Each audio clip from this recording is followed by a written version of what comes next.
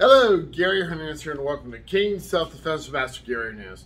This is just a six month review of having and working with the new Bob Versus. Well, I've had it for going on six months now, so it is not new anymore. Now, it's in about a week, it's going to be six months since I bought this bag. So, I actually bought it, but I started using it a couple days after I bought it when I put it together. So, it's about six months since I've owned it. I'm going to tell you how this bag's held up, what I've done with it, what I learned about it, and is it worth it? Now, real quick capping on this. This is the original Bob from Century. And Bob stands for Body Opponent Bag. If you didn't know that, I bought this one 26 years ago. A little over 26 years ago. Bought it in June. I remember the day. So I've had it for 26 years, and it cost almost $300 back then. Um, and basically, what's changed on this since then is it actually has an extender with the newer bobs where it has pants to give you a little more, uh, more bag to strike. Now I had to change the base only one time because one of them had a small hole in it, so um, I had to get rid of that one and get a new base. But that fits basically any Century bag. Any base will fit with this one, pretty much. Now, after 26 years of abuse, of being hit with students and weapons and stuff, it has torn up a bit to where it's not supposed to just turn like this, but it does, even though it can raise and go down. The tape area is because the, the bolts and washers in the back are torn up to where you can't even get to them too good because they're just deep into this rubber.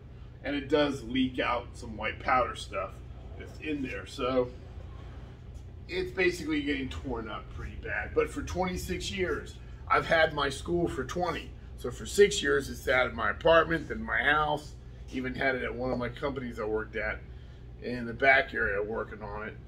And then when I opened the school 20 years ago, here it is. So it's been hit a lot. So it's taken the abuse and I can say I definitely got my money out of it. And I still haven't still used it. And about 16, 17 years ago, I bought this one. They call this one Billy Bully. That's what they called it back then. Now, it was green for several years, and over the time, don't really know why, they changed it to a flesh tone color versus the green. Um, this one's supposed to weigh 236 pounds, give or take, water weight or stand weight in the bottom. This one's, um, I think 146 or something like that, water sand weight in the bottom. I put water versus sand because if I have to empty the empty and move it somewhere, water can be emptied in the parking lot versus all that sand and sand's a little harder to get in than the water is.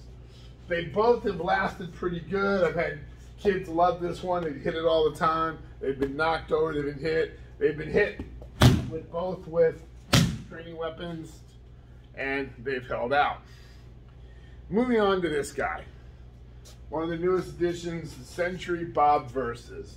Now, this one, this one cost me under 200 and this one cost me almost 300 this one sells for 500 499.99 then you got your shipping so you got over 500 being a school owner i got a discount over $100 on it so it cost me 300 and i think 80 something dollars then shipping so we're right back to about to 400 bucks easily so basically got it for just about four and maybe a hair over versus the five and a hair over and when you get it, you got to put it together. It's in two boxes. Now, they do sell the arms and the vest that you can put on any pretty much any bob for I think $160. You have to look at that yourself. Now, my overall review of this six months being used. When I first got it, my first week or two, I treated it like a long lost brother. I was really worried about it getting hit. After a month, I treated it like a stepbrother. I beat the crap out of it.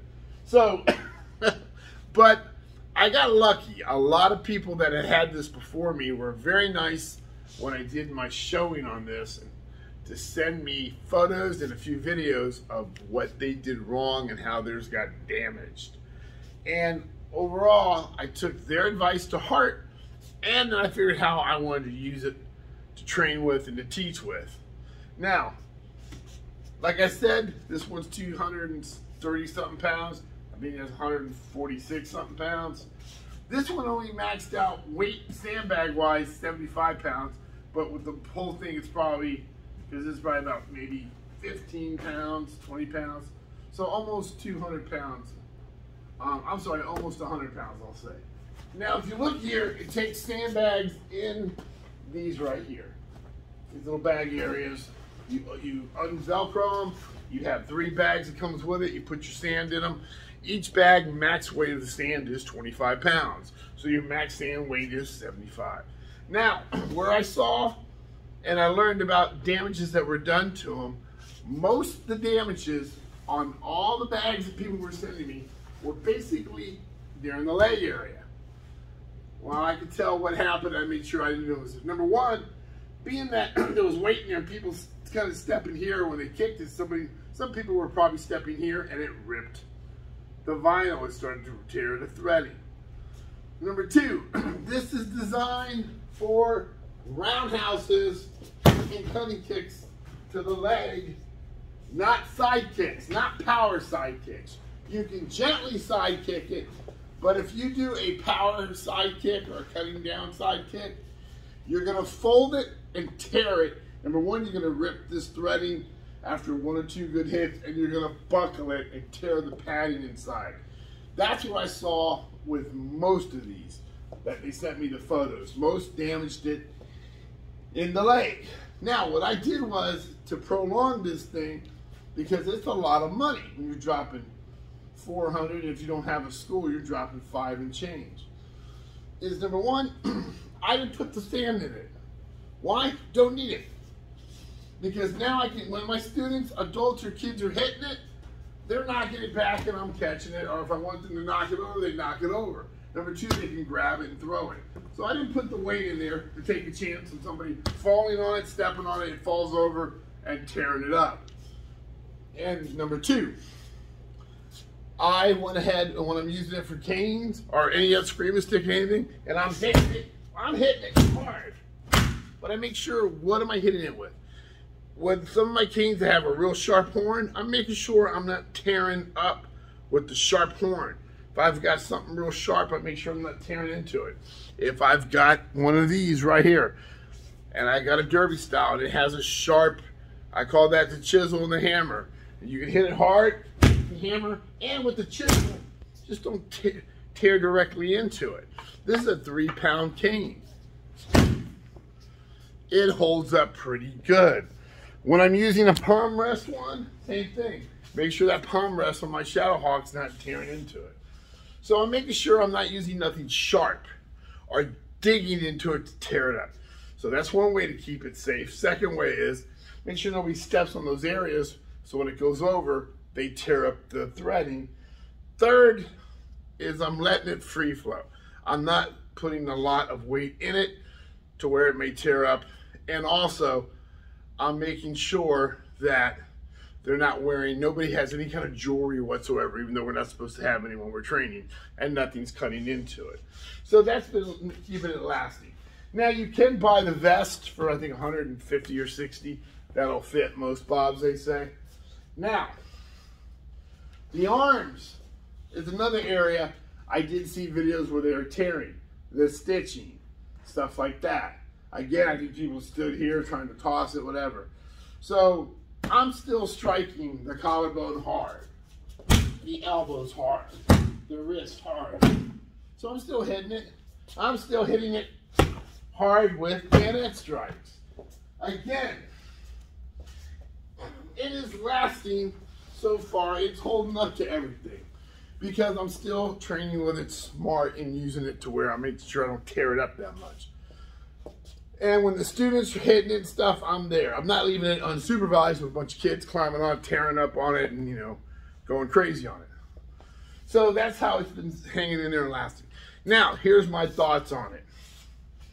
As a training tool, as a bag to train on, between 1 and 10, 10 the highest, I give it a 6. It's pretty good. It is light. It's designed to be knocked over and thrown, I know that, so it's light. I give it a six. If I want to hit something hard, put a lot of power in, I'll use an XXL. If I want to do a lot of grappling, I'll get a pound and ground dummy that's designed for that. So I give it a six. As a training aid, I'm going to give it a high eight, almost a nine. The reason I, a training aid is because that's what I use it for. A lot. Kids, it's a training aid, but a training tool as well. Yes. when I pandemic, I you know I couldn't use Bob all the time, or my other Bob, the living Bob, or Billy or Master Crooner or somebody. So I, when they weren't here, I used this as a explaining the techniques because what was good about it and what's still good about it is the fact that you have the features of a person. So now you can talk about going the eyes, the nose, the mouth, the throat, the ears. You can talk about striking the collarbone, the elbows, the wrist area, the knees, the solar plex, even hitting the groin. So as a training tool, as a teaching aid, I give it a high eight to nine. It's great. And then it turns into a training tool while I'm showing the people where to strike, whether it's open hand, feet, elbows, or knees, or going into any kind of a cane or other weapon, then they can, they can see where to strike.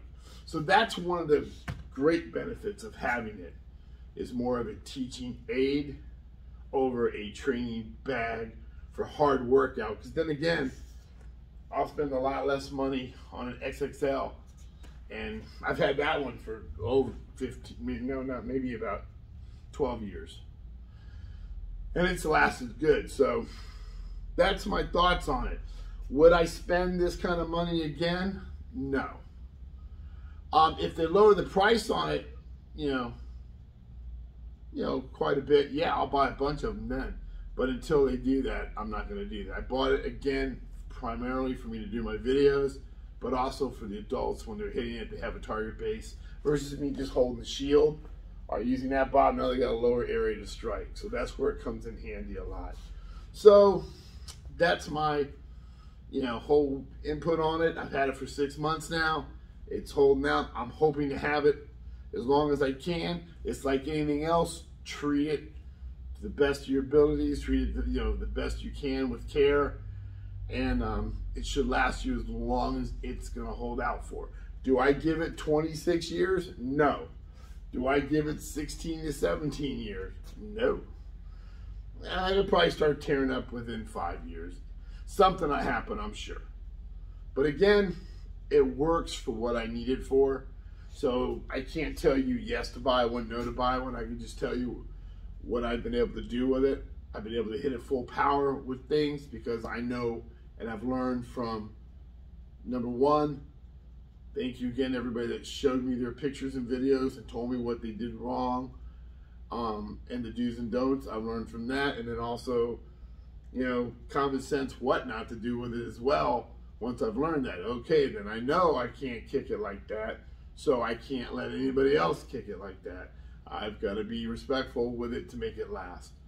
So it's going to work for me for what I need.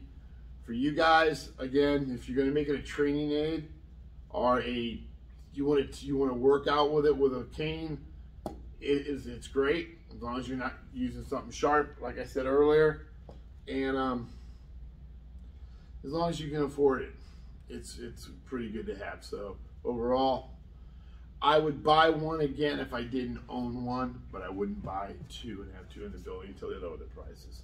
So hopefully that does help. Um, you know, best thing to do is I say before you buy one, if you get an opportunity and you see somebody that has one, check it out. That's what I did. I got lucky. I was um, talking to a gentleman, um, and he had the uh, actually the owner came after Steve Milton. I was at his house, and he has one, and I was lucky enough to kind of work out on it and get an idea of it. So that really kind of told me a lot as well. So overall, it's not too bad. Like I said, as a kick bag, I give it a six. As a training aid, I give it a high eight to nine. So hopefully that helps. Gary, thank you very much. And I will see you guys very soon. And bye.